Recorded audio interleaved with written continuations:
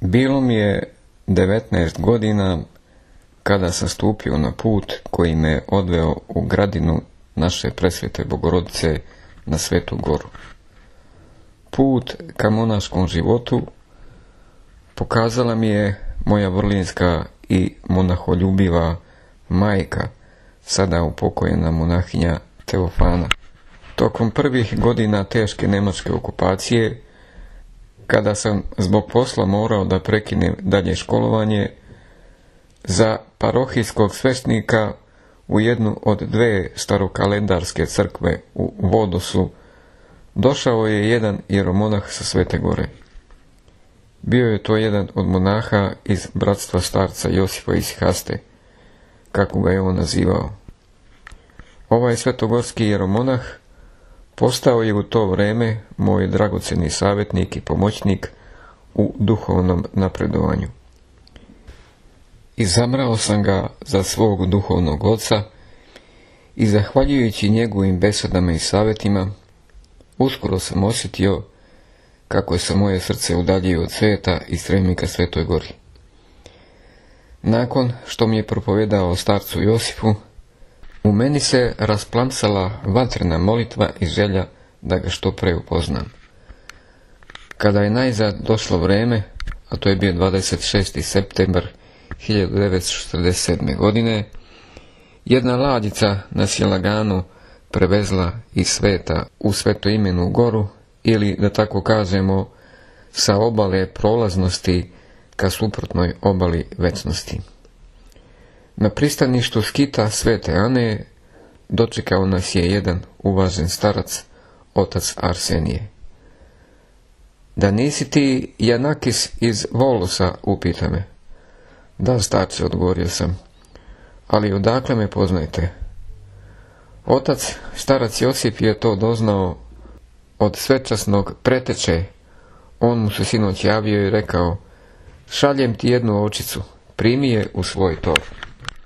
Moje misli su se usresredile na svečasnog preteču mog pokrovitelja, na čiji sam dan roždestva i sam rođen.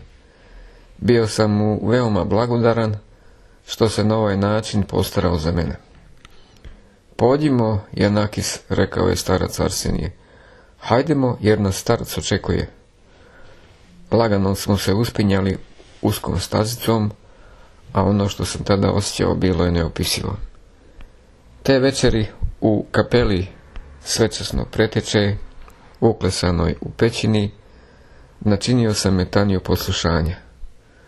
Tamo u primraku moja duša je na samo njoj poznat način prepoznala svetlosni lik mog svetog starca. Duhovno i telesno bio sam najmlađi u bratstvu, a starac Josif je bio jedan od najvećih svetogorskih duhovnika našeg vremena. Proveo sam, pored njega, punih 12 godina, koliko je još poživeo nakon mog dolaska. Bio sam njegov učenik i Bog me udostojio da ga služim do njegovog posljednjeg daha. Zbog svog velikog duhovnog truda i svojih svetih molitava koje nam je ostavio kao dragoceno duhovno nasljeđe, bio je dostojan najusrdnijeg služenja. Kada sam ga upoznao, bio je istinski bogonosac i najplemenitiji duhovni vojskovođa, veoma opitan u bitkama sa strastima i demonima. Bilo je nemoguće da se čovjek, makoliko bio ostrašten, nađe u njegovoj blizini, a da se ne iscijeli. Jedno je trebalo da mu bude poslušan. Što se tiče monaha, starac Josip je iznad svega postavio Hristopodobno poslušanje. U pogledu laika prednosti davao umnoj molitvi, ali samo pod nazorom opitnih rukovoditelja, jer je video mnogo prelašćenih ljudi i strahovao od toga. Često nam je govorio, ako vidiš da čovjek ne traži savjet ili da se pak ne pridržava savjeta koji je dobio, znaj da će ga uskoro vidjeti prelašćenog. U pogledu našeg podvizničkog pravila, starac je bio izuzetno strog. Svom svojom dušom voleo je post, bdenje i molitvu. Uvijek je bio strog u pogledu hleba i trpeze. Ako je znao da je od juče ili od prekjuče preostalo nešto jestiva, nije ni tražio svežu hranu. Međutim, njegova strogost u pogledu ishrane bila je umrena kada smo u pitanju bili mi mlađi. Videvši toliko telesne slabosti, starac je smatrao da treba da nas sačuva. Izgledalo je da se sva njegova popustljivost iscrpljuje u toj jednoj jedinoj snishodljivosti. U svemu ostalom bio je veoma zahtevan, a ne stoga što nije znao da prašta greške ili da otrpi slabost, nego zato što je želeo da sve svoje duševne i telesne snage pokrenemo na podvig. Obično nam je govorio, ono što ne damo Bogu, da bi ga on iskoristio, iskoristit će onaj drugi. Gospod nam je dao zapovest da ga ljubimo svom dušom i srcem, tako da lukavi ne bi našao mesto na kojem bi se nastanio i smestio u nama. Noći smo provodili u bdenju. To nam je bio tipik. Starac je zahtevao bitku do krvi sa snom i nečistim pomislima. On je bdio u tami u svojoj keliji sa svojim nerazdvojnim saputnikom neprestanom umnom molitvom. Iako unutar kelije znao je šta se dešava na polju i bio mu je poznat svaki naš podvig i svako naše napredovanje. Dovoljan bi mu bio samo jedan pogled da pročita naše pomisli. Uvidevši da nam je potrebno duhovno ukrepljenje, kazivao bi nam o mnogim čudesnim podvizima svetogorskih otaca. Plenio je svojim pripovestima. Kada bi govorio, čovjek bi poželeo da ga neprestano sluša. Međutim, kada je govorio o božanskom prosvetljenju i o blagodatnim stanjima, imao je teškoću u izražavanju i pored svog prirodnog besedničkog dara, zbog nedovoljnosti ljudskog rečnika kojim bi objasnio njihovo duboko značenje. U takvim trenucima starac je ostajao bez glasa i činilo se da je daleko od nas, da nije u stanju da govori o onome što se nalazi na nad nesaznajnom, nad svetlom, najuzvišenijem vrhu tajanstvenog smisla logosa, tamo gdje obitavaju prosta, apsolutna, nepromjenjiva i neizreciva tajinstva bogoslovlja. Moj starac nije izučavao akademsko bogoslovlje, ali je bogoslovstvovao sa najvećom dubinom. U jednom od svojih pisama on kaže Kada u poslušanju i bezmolviju, to jest molitvenom tihovanju, monah očisti čustva, umiri um i prosveti srce, on prima blagodat i prosvetljenost znanja. On postaje sav svetlost, sav um, sav blistanje. Iz njega izvire bogoslovlje koje ni trojica, ukoliko budu zapisivala, neće uspjeti da zabeleže usled potoka blagodati što talasato teče i po čitavom telu razliva mir i potpunu nepokretnost strasti. Srce plamti od božanstvene ljubavi i usklikuje. Isuse moj, zadrži se svoje blagodati, jer se rastapam kao vosak. I on se zaista topi, jer ne može da izdrži. Um biva zahvaćen suzrcanjem i dolazi do sjedinjenja, to jest prožimanja, i do čovekovog presuše stavljenja, i on postaje jedno sa Bogom, tako da više nije u stanju da sebe razlikuje ili razdvoji od njega, od gospoda, slično vožđu, kada se kali u ognju i postaje i samo slično ognju. Ove reči jasno pokazuju da božanstveni primrak ozaren netvarnom svetlošću za njega nije bio nepoznata i nepristupačna oblast, već mesto i način Božijeg prisustva.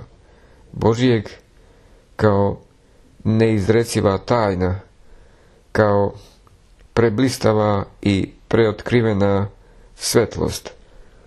To je bivalo stoga što je moj starac znao, znao je da se moli. Nakon više časovne srdačne molitve, često nam se dešavalo da primetimo da je njegovo lice preobraženo i ozareno. Nije ni najmenje čudno da je ta svetlost u kojoj se neprestano kupala njegova duša, tokom vremena nevidljivo počela da omiva i njegovo telo. U ostalom, oreoli svetitelja i anđela nisu ništa drugo do odblesak nestvorene, to jest netvarne blagodatne svetlosti koja sija i blista u njima. Začuđujuća je bila starčeva čistota. Sjećam se da bih uveče ušavši u njegovu keliciju osjetio mio miris. Osjećao sam da mio miris njegove molitve orošava sve što ga okružuje, ne dejstvujući samo na naša unutrašnja, nego i na spoljašnja čuvstva. Besedeći sa nama o čistoti duše i tela, uvijek je kao primjer navodio presvetu Bogorodicu. Ne mogu vam opisati, govorio je, koliko presveta ljubi celomudrenost i čistotu. Ona je jedina čista djeva. Ona ljubi sve nas koji smo takvi i želi da svi mi takvi budemo. Zatim bi dodavao. Ne postoji druga žrtva koja bi bila miomirisnija pred Bogom nego što je čistota tela i duše. Ona se zadobija krvlju i surovom borbom. Završavao je rečima. Prisiljavajte sebe, očišćujte dušu i telo. Ne dajte da u um uđe ni jedna telesna pomisao. Što se tiče tihovanja, on ni jednu jedinu reč nije izgovarao bez potrebe. Posebno u toku velikog posta, kad je bio sam sa ocem Arsenijem, obojice bi tada tihovali tokom čitave sedmice. Razgovarali su samo od subotnje večernje do nedeljnog povečerja, a zatim ponovo bez molstvovali, to jest tihovali molitveno tokom čitave sedmice. Za to vrijeme sporazumevali su se gestovima kad je bilo neophodno. Budući da je starac dobro znao kolika je korist od podviga tihovanja i nama je zabranio da međusobno razgovaramo. Tihovanje smo mogli da narušimo jedino uslijed krajnje nužnosti. Kada bi nekoga od nas na poslušanje poslao izvan našeg isihastiriona, to jest isposnice, nije dopuštao da se bilo kim razgovaramo. Sjećam se da bi me nakon povratka strogo ispitivao da li sam u potpunosti očuvao poslušanje i tihovanje. Moja prva epitimija zbog dve, tri izgovorene reči podrazumevala je dve stotine poklona. Ovaj nebeski čovjek je bio pravi znalac u isceljivanju strasti svojih učenika. Ukoliko bi samo ostali uz njega u poslušanju, okusili bi duhovno rodjenje i postajali sasvim drugi ljudi. Međutim, kraj njega je ostala samo nekolicina učenika, iako su mnogi dolazili. Nije bilo lako živjeti sa njim. Mene je njegova očinska ljubav rukovodila na takav način da bi mnogima, ukoliko bih o tome kazivao, to izgledalo nevjerovatno. Tako sam, na primjer, za 12 godina koje sam proveo kod njega, svoje ime čuo iz njegovih usta svega nekoliko puta. Da bi me oslovio ili pozvao, koristio je najrazličitija pogrdna imena i epitete koji su im odgovarali. Koliko je međutim bilo nežnosti u tim u tim veštim zajedljivostima, kako je sveta zabrinutost stajala iza tih poruga. Kako je danas duša moja blagodarna zbog tih hirurških zahvata njegovog najčistijeg jezika. U pustinji smo proveli dugi niz godina. Međutim, zbog različitih iskušenja, gotovo da su se svi razboleli.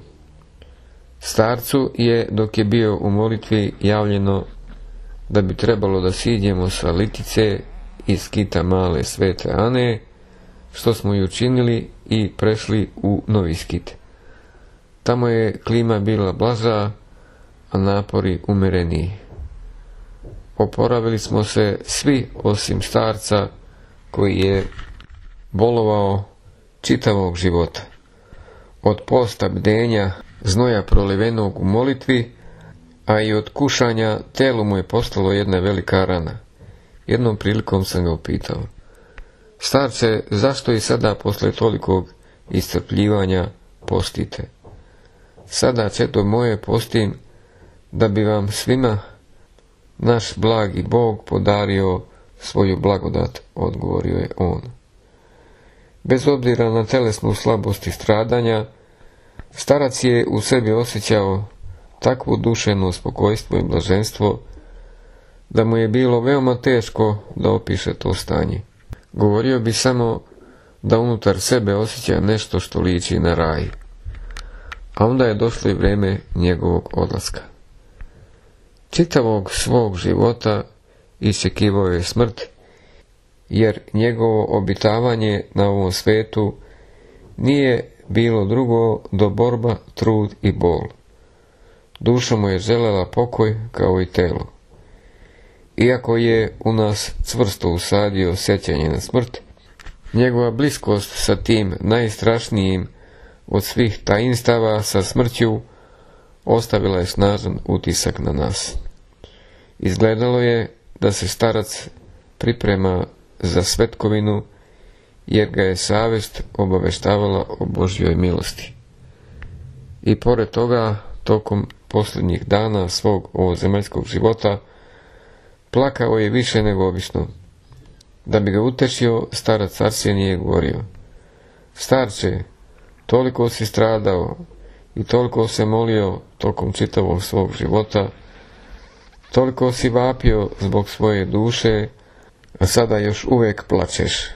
Starac ga je pogledao i uzdahnuo. Eh, starče Arsenije, istina je to što kažeš, ali ja sam samo ljudsko biće. Kako da znam da li je mom Bogu bilo ugodno to što sam za njega učinio. On je Bog i ne sudi kao mi ljudi.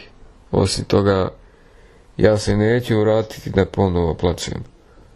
Ovo mi je posljednja prilika. Onako kako sada učini svaki od nas, tako će nam i biti.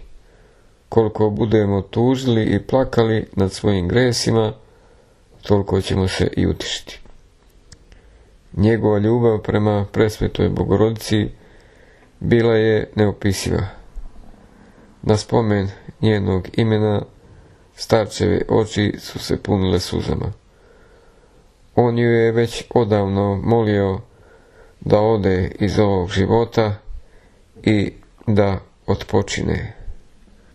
Sve carica ga je najzad uslišila.